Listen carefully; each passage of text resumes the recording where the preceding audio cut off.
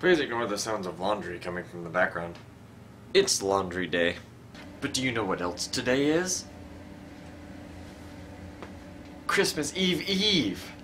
One of my most favorite non-holiday days. So now I'm kind of wondering if I should even be wearing this hat since it's not quite Christmas yet.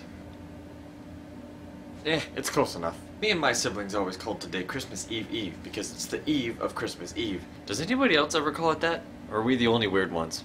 Well, let's be fair, we're definitely the weird ones, but still, I'm wondering if anybody else called it that. Okay, so I'm the weird one, but still, just wondering if anybody else called it that.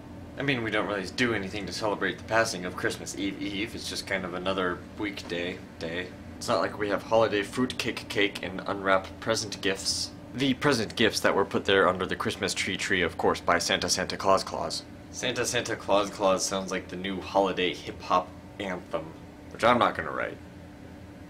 Be my guest. Feel free, whoever wants to make holiday hip hop anthem Santa Santa Claus Claus. Be my guest.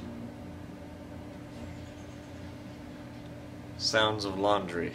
Today's video is a little short short, but that's okay, Kay. Tomorrow is Christmas Eve Eve. Wait, today is Christmas Eve Eve. Tomorrow's just Christmas Eve.